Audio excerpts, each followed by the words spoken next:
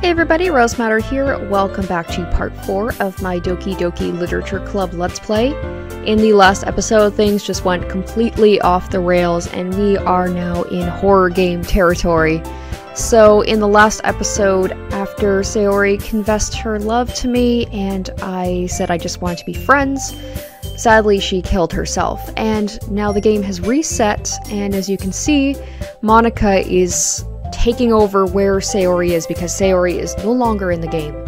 So, obviously, Monika has some sort of motive here. I don't know if she wants to like slowly kill all the girls off so that, you know, she's the only one left and she can be with me and me alone.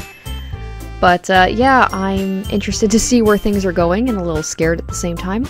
And as for the audio, if you notice any differences, it's because for my own mental and emotional well being, I have decided not to play with headphones anymore just because it was really getting under my skin. So um, I'm just gonna be using regular microphone. I'm sorry, guys. I told you I don't do well with horror games, but enough blabbing. Let's get on with the game. Okay, yes. So here we were before I decided that I had to stop the game. So um, obviously, Monika is taking the place of where Sayori was in the last playthrough, where Monika is coming in to tell me about the literature club instead of Sayori. Literature? That sounds kind of dull. How many members do you have so far? Um, uh, it's kind of embarrassing, but there are only three of us so far. It's really hard to find new members for something that sounds so boring. Well, I can see that. But it's really not boring at all, you know. Literature can be anything reading, writing, poetry. I mean, one of my members even keeps her manga collection in the club room. Wait, really? Yeah, it's funny, right?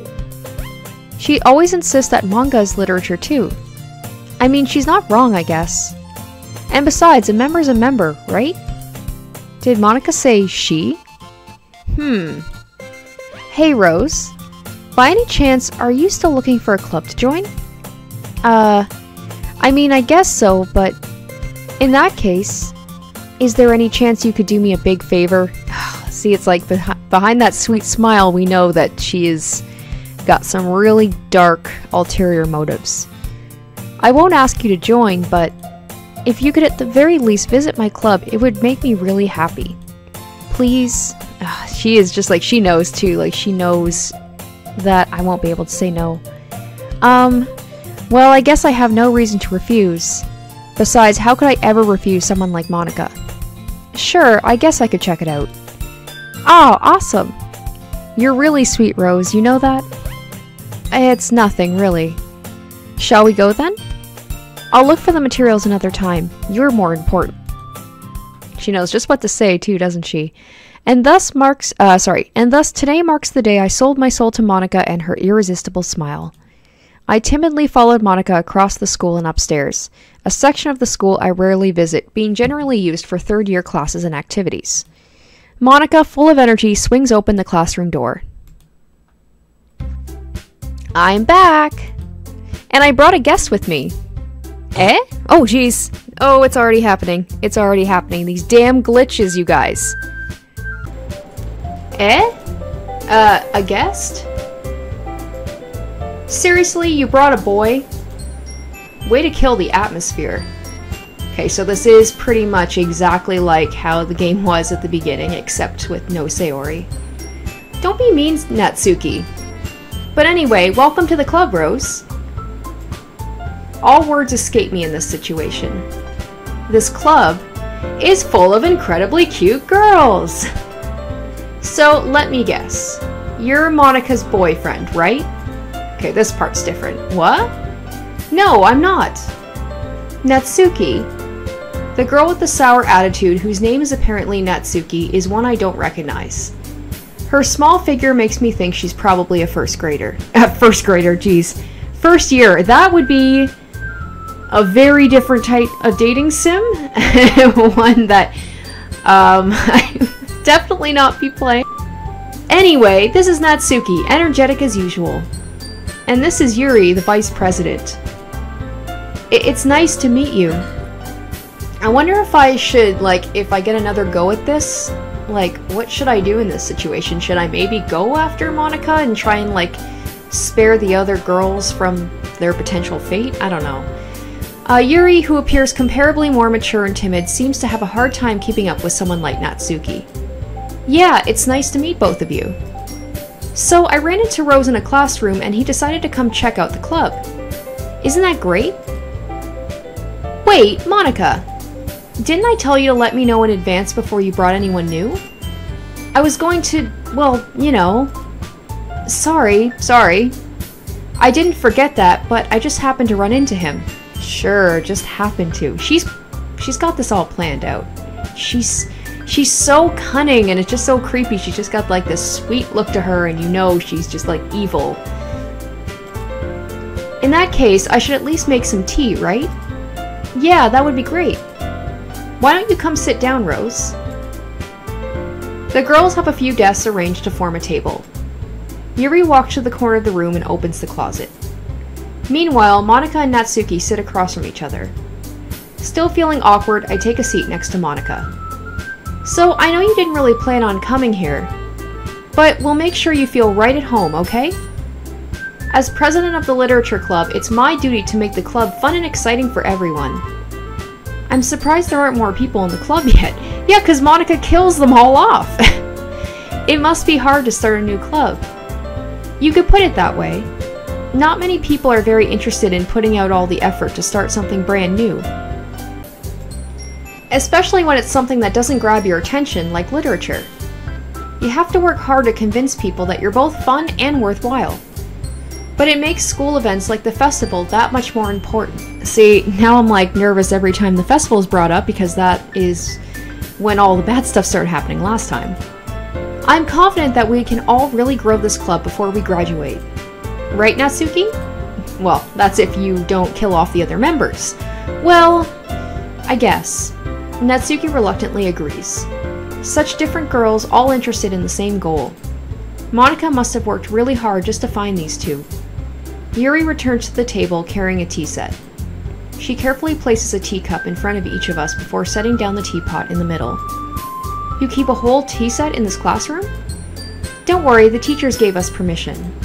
After all, doesn't a hot cup of tea help you enjoy a good book? Uh, I, I guess. Don't let yourself get intimidated. Yuri's just trying to impress you. Eh? That's not... Insulted, Yuri looks away. Okay, Yuri, I am...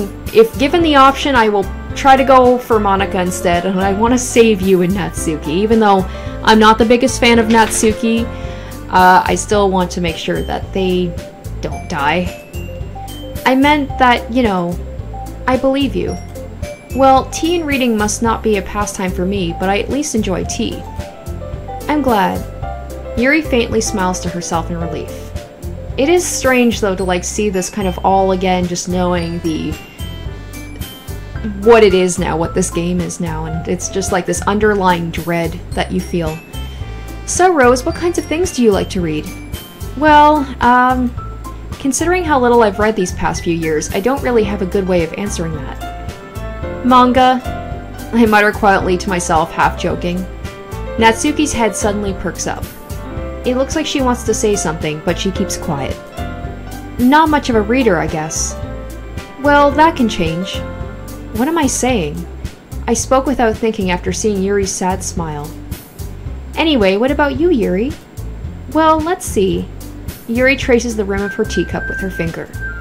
My favorites are usually novels that build deep and complex fantasy worlds. The level of creativity and craftsmanship behind them is amazing to me. And telling a good story in such a foreign world is equally impressive. Yuri goes on, clearly passionate about her reading. She seems so reserved and timid since the moment I walked in, but it's obvious by the way her eyes light up that she finds her comfort in the world of books, not people. But you know, I like a lot of things. Knives, for example. Stories with deep psychological elements usually immerse me as well. Isn't it amazing how a writer can so deliberately take advantage of your own lack of imagination to completely throw you for a loop? I feel like this is the game kind of breaking the fourth wall, basically being like, it's because this game definitely threw me for a loop. Anyway, I've been reading a lot of horror lately. Oh, I read a horror book once. I desperately grasp something I can relate to at the minimal level. At this rate, Yuri might as well be having a conversation with a rock. I expect that from you, Yuri. It suits your personality. Oh, is that so? Really, if a story makes me think or takes me to another world, then I really can't put it down. Surreal horror is often very successful of changing the way you look at the world, if only for a brief moment. This too is very pertinent to what's happening right now. Ugh, I hate horror. Natsuki, I am with you. Actually, I kind of uh, relate more with Natsuki the more I think about it. So I don't like horror. I definitely prefer manga, so I, uh, I definitely relate to her in that aspect. Oh, why is that? Well, I just... Natsuki's eyes dart over to me for a split second. Never mind. That's right, you usually like to write about cute things, don't you, Natsuki? What? What gives you that idea? You left a piece of scrap paper behind last club meeting. It looked like you were working on a poem called Don't Say It Out Loud. See, I'm wondering if I have to literally go through the same thing over again, exactly how the game was, because this is very similar, I'm okay with that if it means that nothing scary happens, but at the same time, it's like we've already done this before, so it is kind of a little slow. And give that back. Fine, fine. Natsuki, you write your own poems? Well, I guess sometimes. Why do you care? I think that's impressive. Why don't you share them sometime? No! Natsuki averts her eyes. You wouldn't like them. Ah, not a very confident writer yet? I understand how Natsuki feels. Sharing that level of writing takes more than just confidence. The truest form of writing is writing to oneself. You must be willing to open up to your readers, exposing your vulnerabilities and showing even the deepest reaches of your heart. Do you have writing experience too, Yuri? Maybe if you share some of your work, you can set an example and help Natsuki feel comfortable enough to share hers. I guess it's the same for Yuri. We all sit in silence for a moment. Hey, I just got an idea. How about this? Natsuki and Yuri look quizzically at Monika. Let's all go home and write a poem of our own. Then next time we meet, we'll all share them with each other. That way, everyone is even. Um... Uh... I mean, I thought it was a good idea. Well, I think you're right, Monika. We should probably start finding activities for all of us to participate in together. I did decide to take on the responsibility of vice president after all. Oh, okay, so Yuri is now vice president, which probably means she's going to be the next to go, unfortunately. I need to do my best to nurture the club as well as its members. Besides, now that we have a new member, it seems like a good step for us to take. Do you agree as well, Rose? Hold on, there's still one problem. Eh? What's that? Now that we've reached the most important topic, I bluntly come forth with what's been on my mind the entire time. I never said I would join this club. Monika may have convinced me to stop by, but I never made any decision. Run now, dude! Run before it's too late! I still have other clubs to look at, and, um, I lose my train of thought. All three girls stare back at me with dejected eyes. But I'm sorry, I thought... Hmm. Eh? The girls exchange glances before Monika turns back to me. I guess I need to tell you the truth, Rose. The thing is, we don't have enough members yet to form an official club. Well, you might have if you hadn't killed off Sayori, Monika. Did you think about that? I know she didn't actually kill Sayori, but I mean, she definitely contributed to it. We need four, and I've been trying really, really hard to find new members. And if we don't find one more before the festival... God, the guilt tripping. I'm... I'm defenseless against these girls. How am I supposed to make a clear-headed decision when it's like this? I would feel terrible for letting everyone down in this situation. And besides, the club itself seems pretty relaxed. oh, if only you knew. So if writing poems is the price I need to pay in order to spend every day with these beautiful girls, Right. Okay, I've decided then. I'll join the literature club. Oh boy, you've just sealed your fate and probably these girls' fates too. One by one, the girls' eyes light up. Oh my goodness, really? Do you really mean that, Rose? Yeah. It could be fun, right? You really did scare me for a moment. Oh, I have a feeling this game is gonna scare me soon. I mean, if you really just left after all this, I would be super pissed. Rose, I'm so happy. We can become an official club now. Thank you so much for this. You're really amazing. I'll do everything I can to give you a great time, okay? Ah, thanks, I guess. Okay, everyone. I think with that, we can officially end today's meeting on a good note. Everyone remember tonight's assignment. Oh man, they really are going to make me do the poem again, huh? Write a poem to bring to the next meeting so we can all share. Monika looks over at me once more. Rose, I look forward to seeing how you express yourself. okay, so here's the thing. Do I try? Do I try to appeal to Monika even though I'm not quite sure what her style is? I mean, I kind of have an idea of her style, but I don't even know if I would be able to because I remember the last time I tried to do the poems, it, I don't think it would let me make a poem for Monika, but that might change because it's one less per- I don't know. I'm thinking too far ahead. Can I really impress the class star Monika with my mediocre writing skills? I already feel the anxiety welling up inside me. I feel anxiety too, but for a completely different reason. Meanwhile, the girls continue to chit-chat as Yuri cleans up the tea set. I guess I'll be on my way then. Okay, I'll see you tomorrow then. I can't wait. With that, I depart the club room and make my way home. The whole way, my mind wanders back and forth between the three girls. Natsuki, Yuri, and of course Monika. Will I really be happy spending every day after school in the literature club? Perhaps I'll have the chance to grow closer to one of these girls and then have them meet their horrible fate. Alright, I'll just need to make the most of my circumstances and I'm sure good fortune will find me. And I guess that starts with writing a poem tonight. Oh, I'm so nervous. So nervous. Oh no, I've unlocked a special poem. I'm okay, sure, yes. I mean, I I'm kind of nervous about it. I, part of me wants to click no, but okay, I'm scared. I'm scared. Oh god, ah, I don't like this. I don't like this at all. No, that was bad. Okay, so I really can only go after Natsuki or Yuri, huh? Alright, well... I guess I'll just do, you know, canon, which was, I was going after Yuri in the first place. Sorry, girl. So, I mean, I definitely know what kind of things that she goes for, so... Uh, sort of. Um...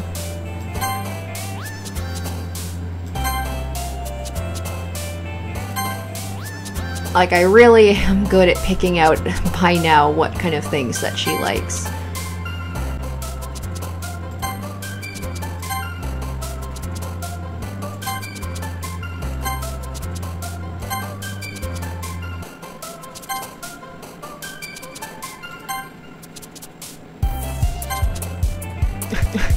Happy music while I boop.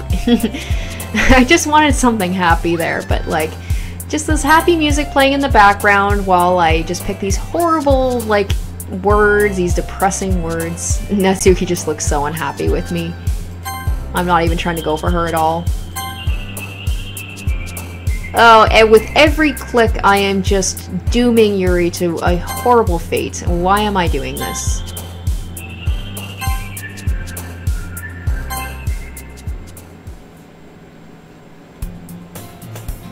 Hi again, Rose. I'm glad to see you didn't run away on us. Ha ha ha ha. I should have. Nah, don't worry. This might be a little strange for me, but I at least keep my word. Well, I'm back again at the Literature Club. I was the last to come in, so everyone else is already hanging out. Oh god, no! I... No, that was... that was not a good thing. I did not like that.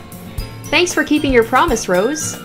I hope this isn't too overwhelming of a commitment for you. Making you dive headfirst into literature when you're not accustomed to it. Oh god! Oh, come on, like he deserves any slack. You already had to be dragged here by Monika. I don't know if you plan to just come here and hang out or what, but if you don't take us seriously, then you won't see the end of it. Oh god, what? Net, but, but, but, I can't see it. Okay, I think it says, I think it says Natsuki, you certainly have a big mouth for someone who keeps their ma manga collection in the club room. I think that's what it says. Is this just like Monika slowly trying to like, you know, have it so that I can't see what the other girls are saying because she's just trying to get my attention? Okay. I'm just waiting for her to pop up again. I'm terrified right now. This is actually really making me unnerved. I don't know why. I don't know why this particular, like, right now, this is, like, freaking me out so much. And I kind of don't want to play anymore. Uh, I'm just... This is such a stupid place to, like, consider ending it, but to be honest, I've been putting off playing this game for, like, a week because it freaked me out so badly, and it's just... This game is just getting under my skin. Like, I think... As embarrassing as this is, I think I might have to stop here. Like, I don't think I can play this game anymore.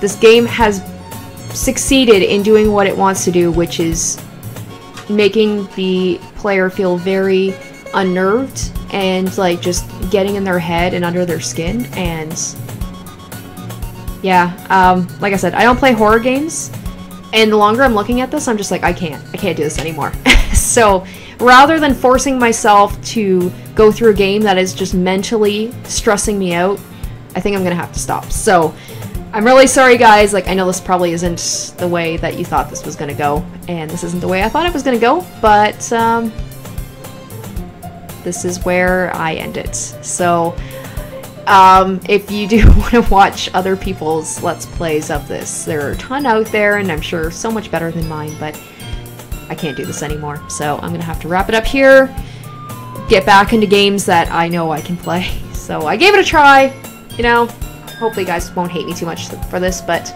I'm going to stop rambling and I'm just going to stop. So I hope I never have to have one this short again because I literally can't play the game anymore. So uh, yeah, thank you for my very short-lived Let's Play of Doki Doki Literature Club. And once again, I'm so sorry.